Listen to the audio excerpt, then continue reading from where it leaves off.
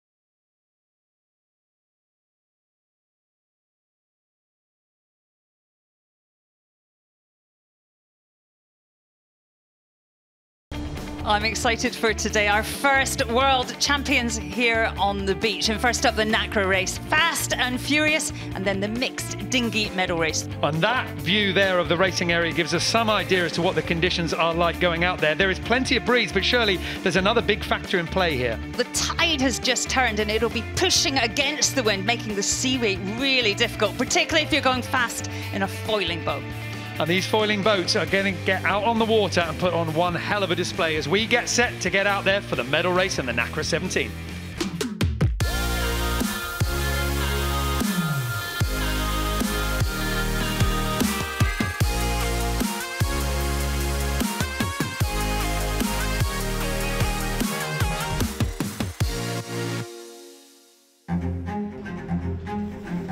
We think the fleet is getting quicker and quicker play it race by race and uh, go around the buoys. Italians Ruggero Tita and Caterina Banti started the regatta in dominant form. It's going to be interesting to see this huge fleet with 70 boats, what will be happen. The Tokyo gold medalists only dropped one point in the first nine races and well ahead of closest rivals Kohlhoff and Stumer, Gimson and Burnett, and Järudd and Jonsson. Plenty more races to come. Keeping the regatta competitive are nine teams from eight nations who have managed great scores throughout the qualifying series. All our energies are here on NACRA. It was the last Olympic race for a sailing legend. It's a very special day for, for us and maybe for me very, very special. In the Gold Fleet, the point spread is still tight, but the Italians dominate going into the medal race by 18 points.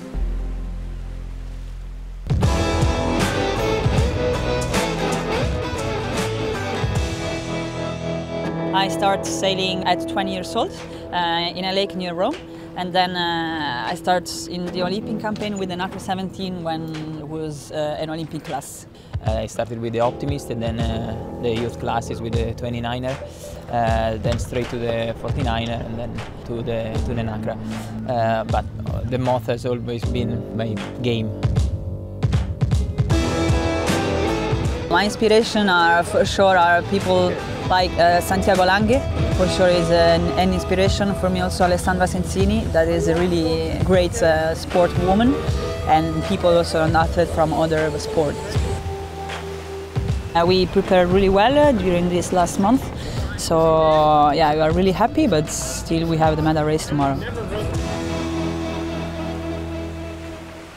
Well, that is what has brought us here to this point where the top three teams, well, some of them are confident, some of them still have work to do as we go into this medal race. Let's hear from those top three teams, starting off with the Italian pair of Tita and Banti. Mm, we are in the, in the first pos uh, position. Um, we won two World Championship. Um, the second one was last year, but we will go in the water to sail in the better way as possible. This has kind of been the most important event of the whole year for us um, to make sure we were in the top 10 to qualify the nation. So, you know, we just had to battle on and do everything we could, and I think we've been pretty lucky, to be honest. We're trying to do the same for the medal race to set a clear plan and win the start and then try to win the race. Shirley, just talk us through the course that we're going to see for the medal race. The course is simple for the NACRA. It will be fast and furious. They start round the top mark, through the gate, back up, and then a final dash for the finish line and the podium. Well, there is a big difference here into how people are lining up Five of our NACRA 17s clearly thinking that they want to go off to the left-hand side. The rest wanting the right-hand side. In those final seconds now, as they start to wind the boats up, we've got Gimson and Burnett from Great Britain, the first to accelerate up at the pin. They've got to hold back a little bit more because they're close to the line. But it's very clear when the gun fires the direction that each of these boats is going to be taken. Only one of the team, Sweden, Järudd and Jonsson, just tacking through. They have started badly here and they are in a battle for bronze. Up on the foils going upwind. Netherlands here, they are just going a little bit low. Uh, Leylemire and uh, Brian Bauer just putting that bow a little bit down. Happy to run fast right now. Happy to get the foils working, get the speed going. That's really their only option. They're the furthest boat to the left. Everybody else is stacked up to windward of them. So they have the risk now of having their tactics dictated to them by the rest of the fleet. One, two, three, four, five boats with Great Britain's Gimson and Burnett in the middle of the pack. Uh, just tacking over uh, Italy, uh, Bissaro and Frascari coming through and they're coming back over now and they will be going behind their fellow compatriots coming through here and looking quite nice. The uh, number one pair who's been setting the pace, Ruggero Tita and Banti coming through. But I tell you what, coming out from the middle here, I mean, you can just see the uh, Swedish flag. Uh, Sweden here, uh, Järudd and Jonsson, they are in the battle for bronze. They come into today wearing the bronze bib in third place. But there is just a few meagre points between them and the, the next three boats. They got a bad start and they're looking great in the middle but ultimately it's going to be the left-hand side that has paid. These were the boats that uh, came off that line nicely, heading to the left. Gimson and Burnett from Great Britain tacking over. They're going to be going underneath, and we've got the uh, red bibs there of Järudd and Jonsson from Sweden with that strong recovery after that poor start. And it's a very tight duck indeed. Windward mark for the first time in the medal race for the mixed multi-hull, the NACRA 17, and no surprise to see who is leading the fleet. It's the Italians, Ruggero Tita and Caterina Banti. The boat that is coming into this competition as current world champions is absolutely putting in the dominating performance. Just holding late on that hoister just a little bit. Just seemed like they were just a little bit late to just come up. Now they've come in, now they're going to pulling up uh, with that power of the spinnaker. Now they've got to ride that power going down, and we're going to be able to see the crews dancing forward and backwards on the hulls as they try and adjust that perfect foiling angle. And at the moment, in terms of the positions that we're seeing on the water, Mir and Bauer from the Netherlands will be moving up to that bronze position. And you can see them on the water at the moment, just behind. They're in second place right now. And if they can hold on to that, uh, the bronze position, the third at the World Championship, that will be theirs. First time at the bottom of the course, and it is, of course, the Italians, Tita and Banti, still in the lead, effortlessly pulling out the meters ahead of their rivals. And here's the boat that is doing all the work in the medal race. This is the battle for the bronze for that third place position. And a very nice jibe, drop and turn from the Netherlands pair, Mir and Bauer. Now safely onto that upwind course. Italy 71 flying into the bottom. Bissaro and Frascari screeching the boat round on that turn. But that bronze, that third, at the moment it is still with Mir and Bauer from the Netherlands. Järudd and Jonsson from Sweden have pulled it back a little bit. They're further out to that right-hand side. It looks to me the Italian sailing a little bit conservatively. We saw them absolutely send it and, and own that fleet on the first lap. And, and here, uh, it'd be nice to be able to take it easy, and that's exactly what they're doing. Isn't it incredible that sailing conservative for this boat still means flying around at the front of the pack? Tita and Banti coming in quite strong from the left-hand side. They're going to lose speed and they with it lose distance on that tack for the starboard layline. There's a big distance starting to open up now between the Swedish boat in third and the Netherland pair of Mir and Bauer as well. That's the real battle for bronze at the moment. Top of the course, final time, and of course it's only gonna be one boat, Tita and Banti from Italy. They are now completing that lap of honor. They have got to go down to the bottom of the course, and then that World Championship title will be theirs. Behind them, the boats have not been able to line up perfectly, and Germany having to duck the stern of Sweden. So Järudd and Jonsson slipping around the top of the course and into second place. It's light. There's still a lot of tide. They miscalculated that layline, which is is a hard thing to call because they're quite far away and oh, so costly to have to do those two tacks. They are a few moments away from the jibe, the final jibe that should be taking them into the bottom of the course for the last time in this World Championships. All the hard work leading up to that moment where we will see them on the podium being crowned World Championships, that is behind them. They do not need to win this medal race, but why not? Why not stamp your authority onto a fleet before we go into Paris 2024?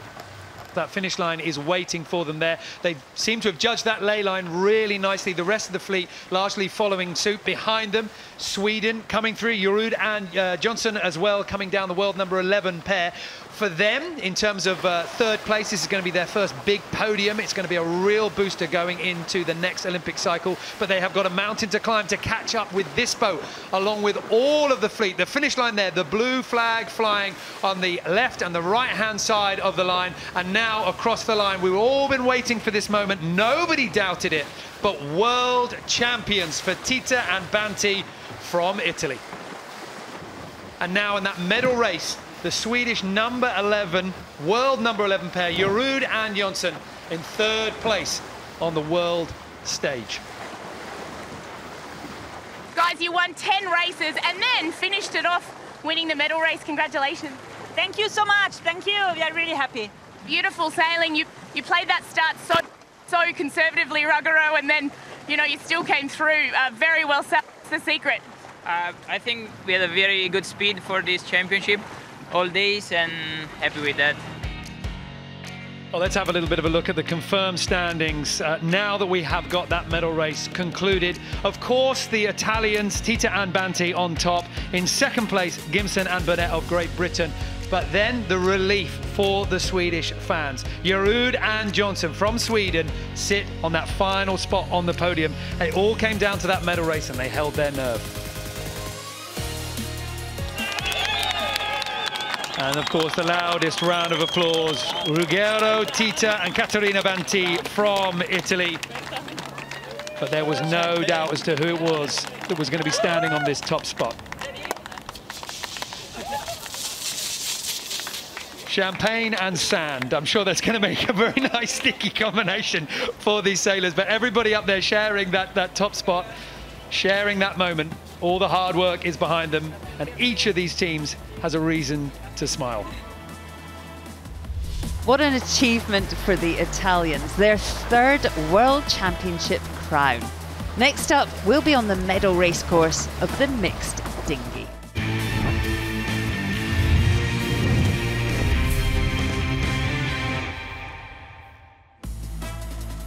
Now let's see how the new configuration of the 470 class is going. This is the modified crew mix for this Olympic cycle where the men and women compete together.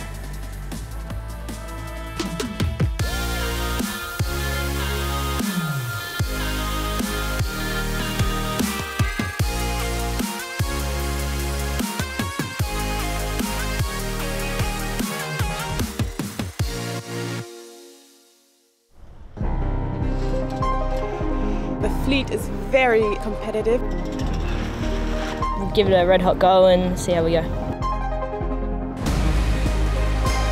The Japanese duo of Okada and Yoshioka have led the mixed dinghy fleet since race one. It's a competitive fleet, with some teams still learning the mixed discipline. Uh, life good, no? Life, life pretty good. Life We're pretty happy. good. Test event winner and French favourites struggled in the choppier conditions. Not such a good day because of the early start. After three days of tricky variable racing, the trailing pack of Ferrari and Caruso and Dish and Markfort closed the gap to eight points as the two fleets joined together. It's a long way to go still. Once in Gold Fleet, the Japanese pair extended their lead and didn't look back. And they wrapped up the gold medal with the medal race to spare. 一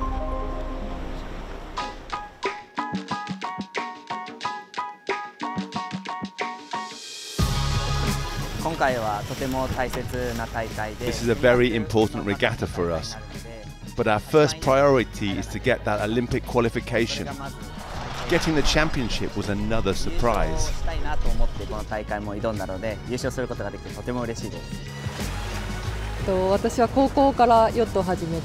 I started sailing when I was in high school and I've been sailing for 10 years. This will be my third Olympic campaign. でオリンピックキ I ャン went to ペーン Rio は and Tokyo. 今回が3度目でリオオリンピックと東京オリンピックに出ました 5歳から I started sailing at five years old, so it's been a long career. It's kind of funny. I have no particular inspiration. I'm just having fun sailing. And I'm really happy being first place going into the medal race.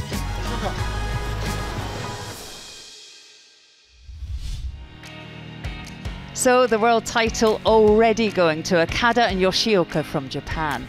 But look at the scrap for silver and bronze. Five teams are in contention here with the pressure on for Spanish duo Hernandez and Brugman. We know first place is not achievable, so we are very tight in points with the people behind. So we're just going to make sure we have a good medal race. We couldn't deliver on what we uh, wanted, but we actually stayed really calm and we tried to yeah, believe the process and especially with the last day we put us in this nice position and today we, we go for it to defend a medal at the Worlds. Everything is short and sweet on the medal race course. Up to the top mark, back down through the gate, either side, back up for one more time, and then a dash to the finish and the podium. Everyone fighting for space, and there's going to be some real drama down at the pin. Crew's going to have to work hard to make sure that they don't catch that pin. And the fastest start has been off the middle, right close to the bow of the pin end. I'm really impressed that uh, Spain managed to come off there. Jordi Xammar and uh, Cabot from Spain managed to make uh, good work of that little bit of space that they had there at the pin. So powerful to come off the pin on, on a boat like this, where you can just push down a little bit, build speed. And there's some big uh, discoloration on the water there, that mix of the current. That is a, a tide line. We're right on the change here, and I think that's what was making the start quite problematic. It's been interesting watching the transition into a mixed gender class. It's, it's got tougher. I, th I think you might agree, David. You know, it's like the best of the women's fleet and the best of the men's Yeah. fleet. It's got, it's got so hard and so tight at the top. Yeah, absolutely. And the, the toughest thing has been that no matter where you were before, no matter how many Olympics you may have under your belt, you now are starting with a new teammate. Some close crosses here and a little bit of ducks as well as Japan, number eight, Okada and Yoshioka go underneath. That's our overall regattas leaders. The boat leading at the top of the course is Spain, Xammar and Cabot.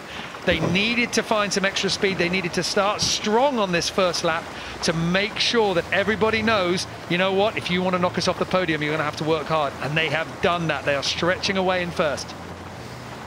Second rounding at the top, the Portuguese pair, Costa and Joao, world number 16, and then the pack closely behind here as everyone getting themselves down on that downwind. Working hard on that pumping, and this is where you know you, you've done that upwind. You've been pumping really hard as a crew, and you think maybe I'll get a little bit of a rest on the downwind. Not a bit of it. No, not a bit at all. In fact, uh, it, it just works a different uh, group of muscles, to be honest. And as with anything, it's all about technique. If you simply pump and flail, you will go slower on the waves. Right now, in terms of positions on that podium. Japan, Okada and Yoshioka, we know that they're going to be on the top spot. Xammar and Cabot from Spain have done enough so far to be able to hold on to second. And then taking that third spot is Winkel and Winkel. That is the one, two, three that we started with today.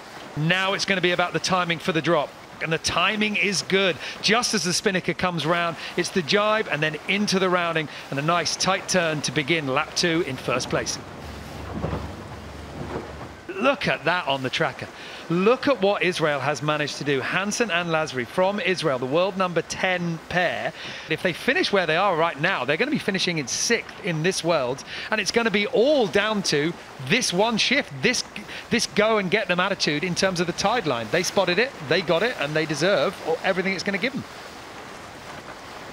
Well, the hard work has been done. It was one tactical play, but look at how well it's worked out for them. Hansen and Lasry from Israel round the top of the course and go onto that final downwind leg in an impressive first place.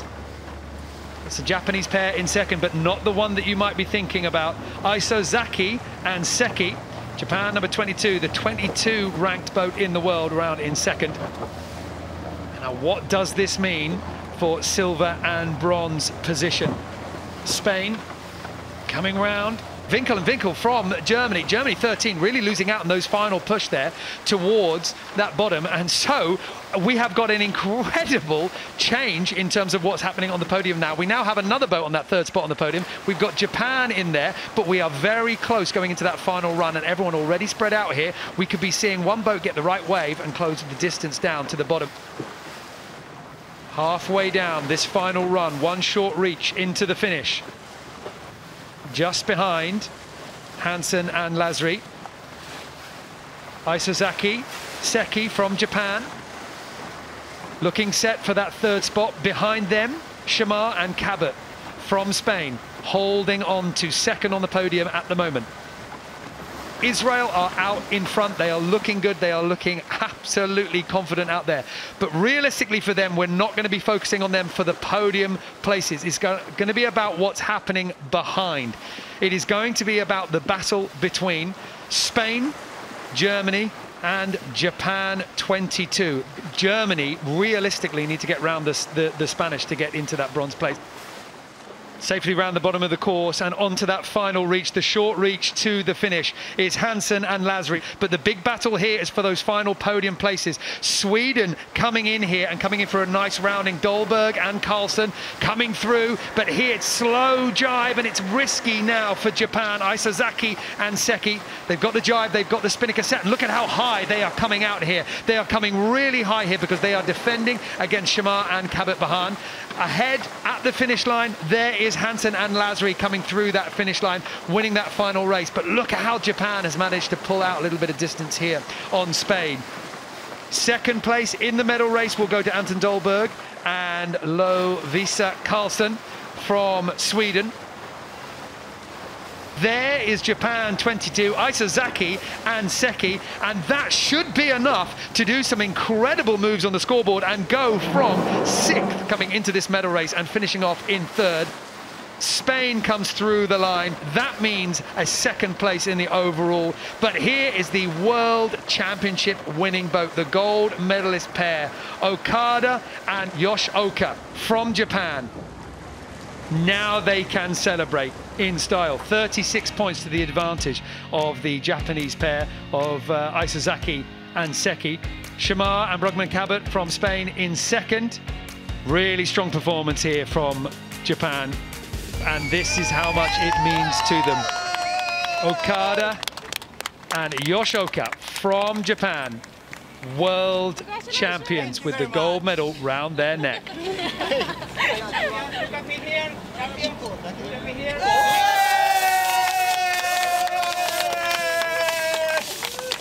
So much fun and uh, enjoy the medal race.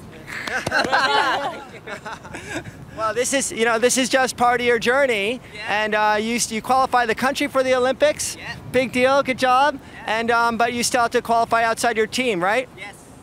And uh, not the Japanese team is a good sailing the, and uh, get the bronze medal, so we happy to with him. and uh, we got the goal is uh, really fantastic and happy. Very, very happy. Uh, it was a nice comeback this week. Started a little slow, but happy to end it with a medal. Very, very happy. Joyful scenes from The Hague. And how well did both the Japanese mixed dinghy crews sail? There's more action to come from the Allianz Sailing Worlds, including the 49er and FX classes, the men and women's dinghy, plus this thrilling foiling race. Don't miss it.